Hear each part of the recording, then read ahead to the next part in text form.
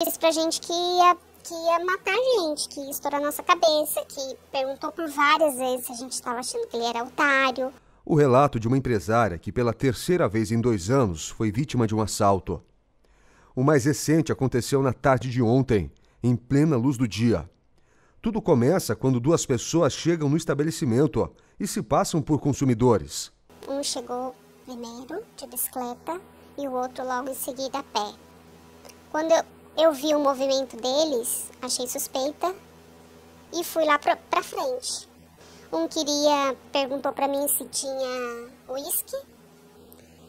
Eu disse que tinha esses uísques, mostrei pra ele quais são, que tinha na, na prateleira.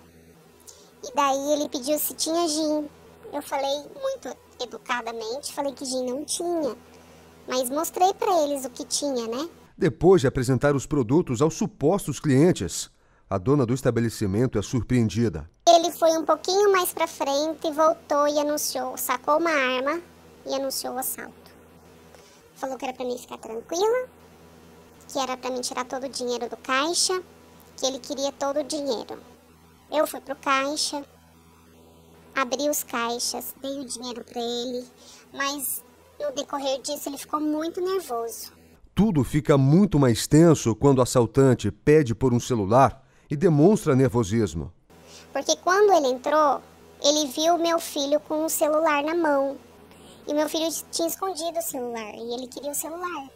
E aí eu comecei a ficar nervosa, ele viu que eu tava meio nervosa e ele também Nisso ele também foi ficando nervoso. Aí eu abri os dois caixas, peguei todo o dinheiro, na verdade cerca de 650 reais. Ele levou. Aí nisso o outro já tava, já tinha pegado todos os uísques. E daí eles saíram. Pediram pra gente vir pro fundo pra dar tempo deles saírem. Durante a entrevista, questiono a vítima se ela teve medo de morrer. E o relato acaba se tornando um desabafo. Sim, com certeza. Na verdade, eu não aguento mais isso. Faz dois anos que a gente tem um mercado e, e toda hora a gente fica com a sensação de que vai ser assaltado. Nova Mutum, eu amo Nova Mutum. É uma cidade assim que eu amo de paixão.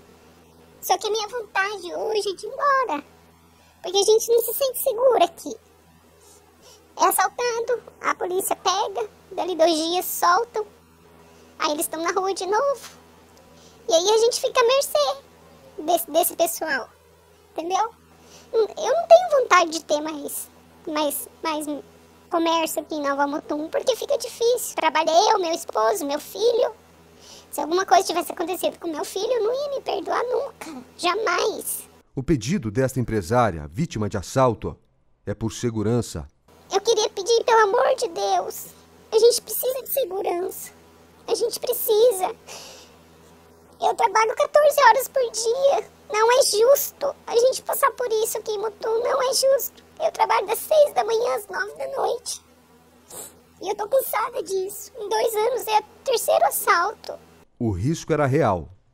E a vítima sabia disso. Eu sei que, que quando eles estão nervosos, os assaltantes, eu sei que eles podem fazer de tudo. Eles podem matar. Para eles matar, matar é fácil. Entendeu? Então eu procurei ficar, ficar mais calma, mas quem me deu segurança na hora foi o meu filho, de 16 anos.